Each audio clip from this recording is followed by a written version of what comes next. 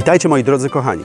Dziś znajdujemy się w podwarszawskiej owczarni, gdzie nasz klient, pan Bartek, właśnie wykańcza swój piękny dom z bala. Warto nadmienić, że pierwszy kontakt z panem Bartkiem właśnie rozpoczął się od systemu nawodnienia. Poprosił nas o wycenę i zaprojektowanie całego nawodnienia. Jakieś zdziwienie przeżył, kiedy okazało się, że sam materiał wyceniliśmy mu trzykrotnie taniej niż konkurencyjna firma, która specjalizuje się właśnie w zakładaniu nawadniania. Pokażę Wam krok po kroku, jak wygląda cała instalacja.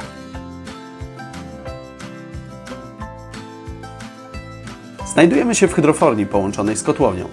Cały system dom i ogród zasila klasyczny układ ze zbiornikiem ocynkowanym i pompą ssącą. Pan Bartek jest przedsiębiorczą osobą. Znalazł niedrogą pompę. Okazała się niesprawna, dlatego wymieniliśmy pompę na nową. Jest to model SKSB firmy Wimest. Hydrofor w układzie to klasyczny zbiornik ocynkowany. Choć ma już 22 lata, nie idzie na emeryturę. Posłuży jeszcze wiele lat panu Bartkowi. Jakość wody w studni inwestora nie jest najlepsza. Dlatego po wstępnej filtracji filtrem Big Blue 10-calowym uzdatniamy ją świetnym urządzeniem Waterboss. Jest to odżelaziacz, odmanganiacz i zmiękczacz w jednym. Stąd woda rozdzielona jest na układ nawodnienia oraz do domu.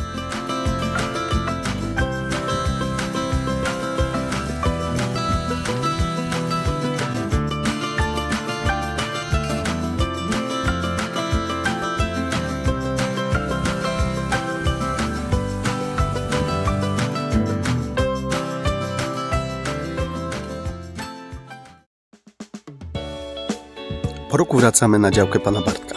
W tym czasie nasadził kilka e, roślin oraz sukcesywnie podlewał systemem nawodnienia, który sam zmontował.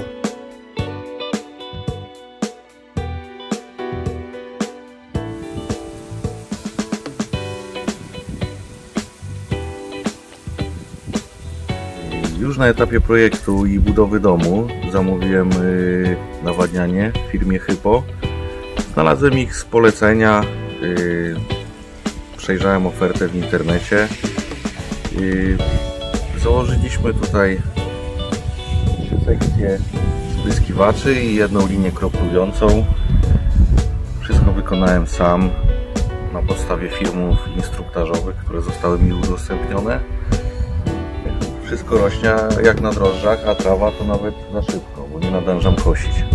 W upalne dni tata mi włącza spryskiwacze i mogę się tam wtedy bawić.